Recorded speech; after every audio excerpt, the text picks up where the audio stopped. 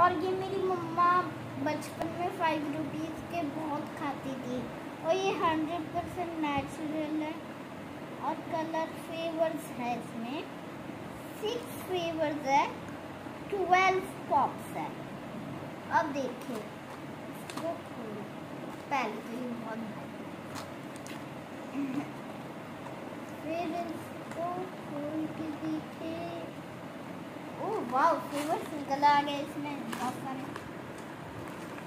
पर ये पानी है या कुछ और है? लगता है एक सेकंड डब्बा देखिए जरा।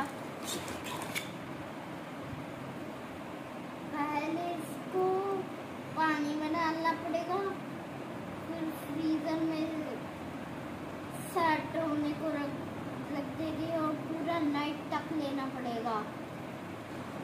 और फिर निकालते ये ठंडे तो हो जाएँगे खाने के भी बन जाएँगे। और ये इसमें टीथ भी ब्रश करने का पता नहीं क्या आ रहा है। और ये है कोला फ्लेवर लग रहा है।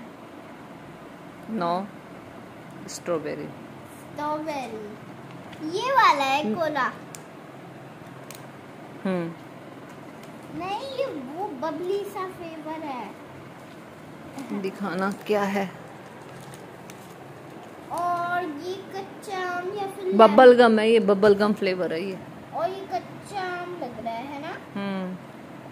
कच्चा आम ही होगा या फिर लेमन होगा? लेमन होगा बेटे।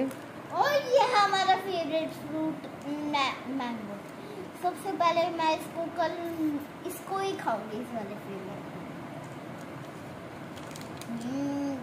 वाला भी मैंगो ही है।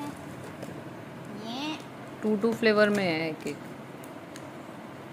ओवरनाइट रखना है इनको फ्रीजर में। ओवरनाइट रखते हैं इनको फ्रीजर में। चलो बाय